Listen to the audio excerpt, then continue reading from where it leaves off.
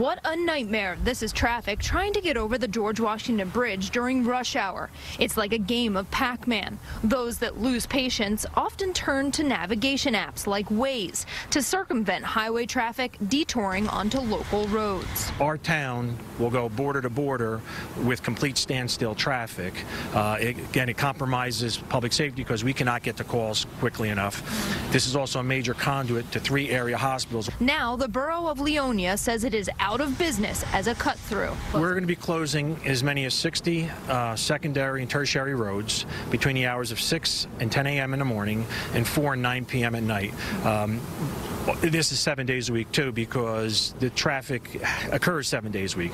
Uh, Sunday nights we have significant bridge traffic. Local side streets will be closed with do not enter signs. Those that try to cheat the system will be fined $200. We will be working with Waze, so it's put into their algorithm that these streets are out of play. So the vehicles on the highway should no longer see this as a viable cut through. Residents and people who work in town will be exempt and given bright yellow hanging tags for their vehicles to indicate they belong. So what do locals think? I think it should help. It's it's been pretty bad lately. It sounds good, but I don't know. We don't have enough police to police it.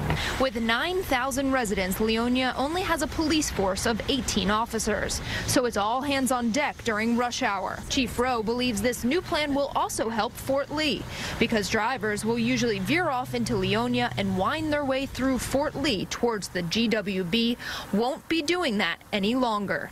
In Leonia, New Jersey, Meg Baker, CBS 2 News. And Meg says those new restrictions are set to take place January 15th.